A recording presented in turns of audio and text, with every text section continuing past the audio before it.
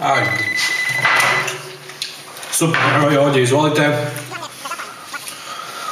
Da, mama, obuko sam gače jutros. Da, i čiste, oprala si neki dan bila, da.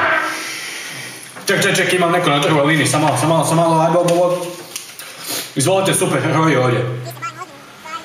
Da, evo ga, izvolite. Šta? Javi se. Za, za mene. Da, jok, za mene. Halo? Mm, da, mama. Da, obukao sam čiste, promijenio sam flaster, jesam, ne, nisam, ne, ne, ne, ne, iću u trgovinu kasnije. Radi, mama! Ajde, ajde, jesu napore. A, prije, jebote.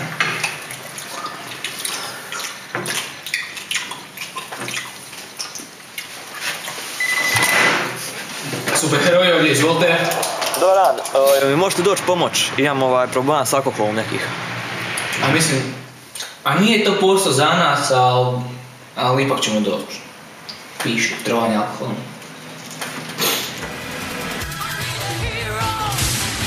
I'm holding out for a hero till the end of the night. He's gotta be strong and he's gotta be fast and he's gotta be fresh on the fight. Šta bi mogli zapravo, a? Pa možemo. Ajde. Gotta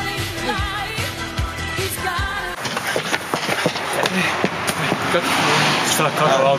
Treba mi pomoć prenesti ovo tu. I zbog tog si nas zvao? Pa mislim, Da, ne, zašto? pa, pa mislim, Pa može nas sad neko zvat tamo, Pa trebaš pomoć, konji jedan. ej, znaš šta, može jebote... Šta ćemo?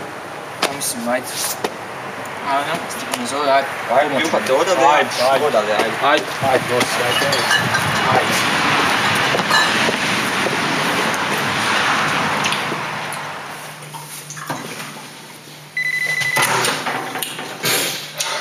Super heroj ovdje, izvolite.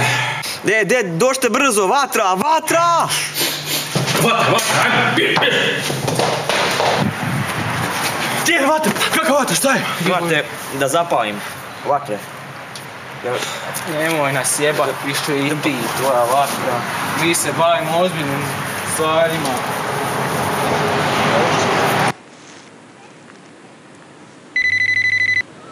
Halo? Vatra! Vatra! A jebem tebe i tvoju vatru više, aj nemoj više zvat te. Bog, to opet onaj. Pa šta ti kažem? Seljačina. Gde zajebao, vam mi neš popiti. A ne, pivo. Ne može.